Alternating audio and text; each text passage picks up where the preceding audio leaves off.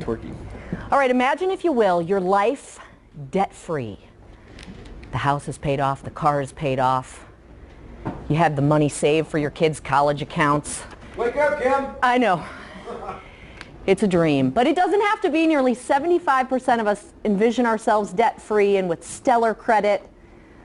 Only half of us, though, have a plan to get there. Well, what better time than the new year to start? We are helping you this morning make some fresh starts, and joining us is Bo Thomas with Certified Credit Experts to tell us what we can all do to improve our credit scores. Thank you so much for being with us. Thanks. Happy New Year. Happy New Year. Happy New Year to you. This is such a big deal for mm-hmm. so many people.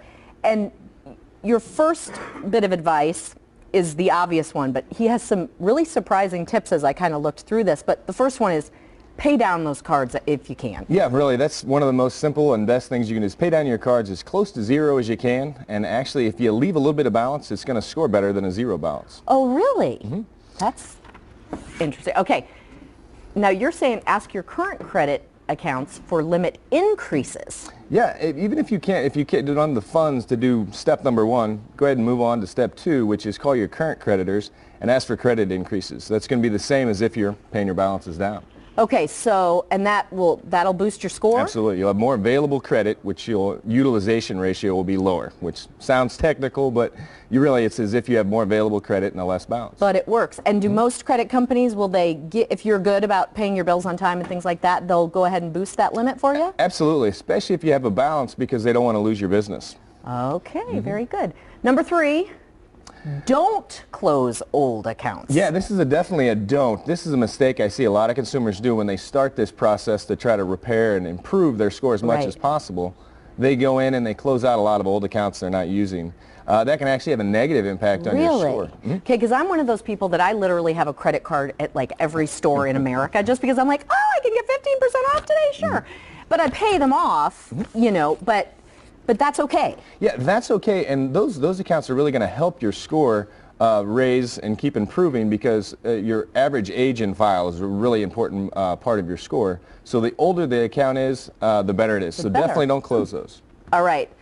And we need to know what our score actually is. Mm-hmm. So, and I know I've always heard that you get dinged every time you check your credit score. So what's your advice on that? No, actually, get it, go ahead and get a, re- a copy of your report as a consumer because Okay. anytime you request your report, it's not going to have a negative impact. It's going to be a soft Okay. inquiry. And that's the, the probably most important thing I can say today is get a copy of your report, Okay. review it, challenge the negative uh, information on there, uh, make everybody comply with the laws. There's a lot of laws out there that are, are out to protect the consumers. Okay. Use it to your advantage. So if you see something on your credit report that you, Mm-hmm. you know, it was from back in college and the bill's been paid off or whatever the case might be, go ahead and challenge that. And how do you do that? Yeah, challenge it. Make sure you do it in writing. Don't do any of the things online that they try to get you to do because if they, if you don't do it in writing, uh, the creditor and the credit reporting agencies don't have to comply with the Fair Credit Reporting Act. Okay.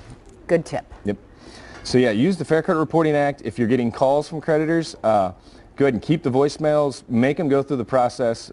Follow the Fair Debt Collection Practices Act because you can find a violation. You can use that as leverage to get the negative information removed from your credit report and stop the collection process. Oh, wow. Okay, Mm-hmm. great. Any other tips as we head into the new year today? The other one, uh, you know, if you're getting phone calls, that's a really good one. Uh, collection companies don't have the ability uh, or the right to call your cell phone, and hardly anybody has home phones anymore. So if you're getting Right. calls on your cell phones, use that to, to make them stop. Okay, what is a good credit score? A, a, a perfect credit score is 850. A 740 is as good as you need to be. You're going to get everything you need with a 740, so work, do everything you can. Remember, it's the most important three-digit number of your life. So make sure it's as accurate and as high as possible. Perfect. Thank you so much for being with us today, Thanks. Bo. Appreciate it. Good tips. All right, we'll be right back. Stay with us.